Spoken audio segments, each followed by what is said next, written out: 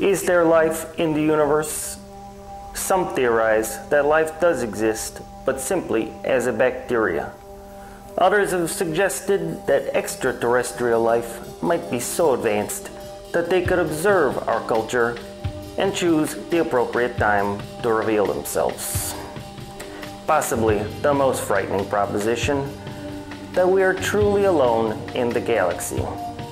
For me, however our fellow space travelers choose to reveal themselves, I hope that they look upon us as siblings in a familial cosmic evolution, members of the same celestial family tree. I'm Carl Jansky.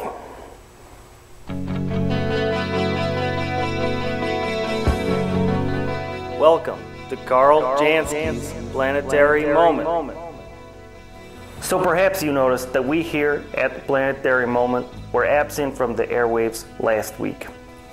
We sincerely apologize for that, as we do not mean to be derelict in our duties. As it happens, I experienced a very unusual occurrence last week, an experience that provides even more reason to keep our eyes on the planisphere.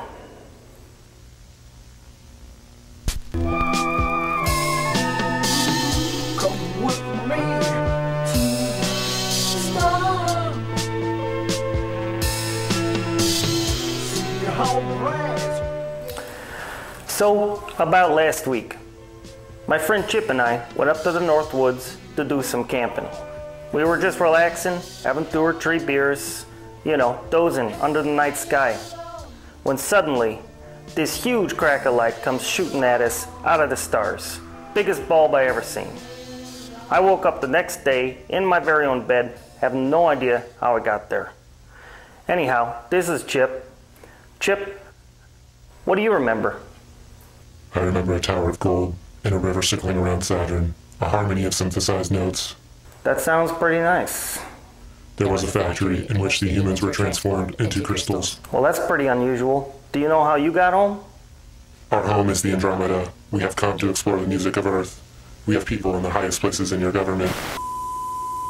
We're sorry. Carl Jansky's planetary moment has been temporarily suspended until further notice. Stay tuned for Iron Mountaineering with Jeff Cowell next on WTNG.